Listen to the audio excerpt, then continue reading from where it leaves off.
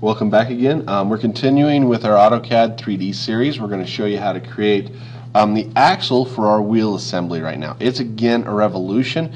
It's a really simple one because its center line is solid, so we're just going to draw a, a profile of one half of it. So we're going to start with some simple drawings. So first off, we're going to start with a line, and we're going to lock that line right here on my x-axis. So I'm going to hit my F8 key to lock my ortho and drag it out. Now, this thing, this axle, is a grand total of 3 inches long. So I type in 3 and press enter. There's my 3 inch axle.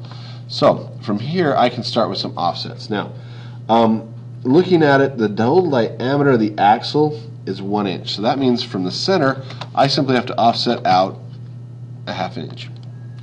Now, where the bushing goes over the ends of the axle, it is 0.75 in diameter, so I need to do an offset of 0.375 to take care of those.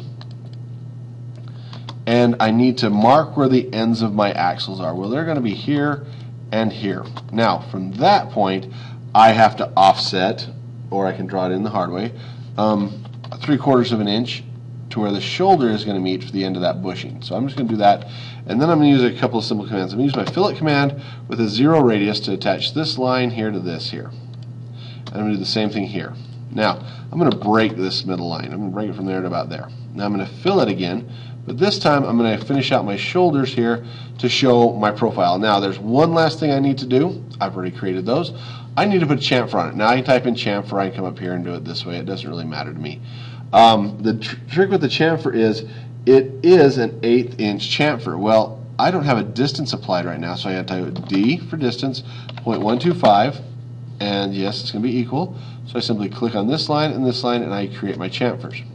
Now, again, I've created this simply with lines, not polylines. So, before I can do anything, I need to go in on this drawing and I need to make it a polyline. So I type polyline, edit, or PE, select one line on it. Yes, I want it to be a polyline, and I want it to join all of these pieces together.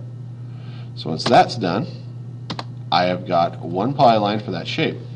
Now it's a simple uh, revolution again. I type in rev, I select my shape, hit enter, I select my axis, which is my center line here, and I tell it 360 degrees, and I press enter, and I'm done. Now, it doesn't look like much right now, but it is a 3D shape.